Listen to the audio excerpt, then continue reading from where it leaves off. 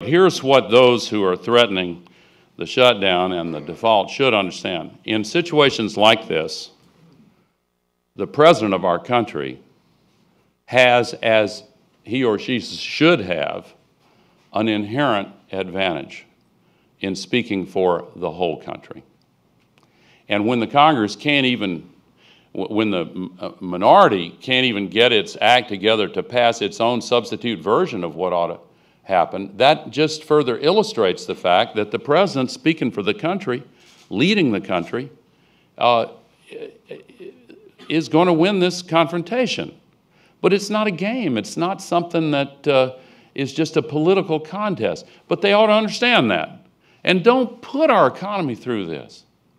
In any case, I am uh, excited about the future uh, of these efforts to make government work so well that when the average citizen hears some threat to the continued operation of the government, they will think about the high quality service they've just been delivered. They will think about the individuals who are working hard to redeem the promise of American uh, self government. And they will say, no, we, this is our government.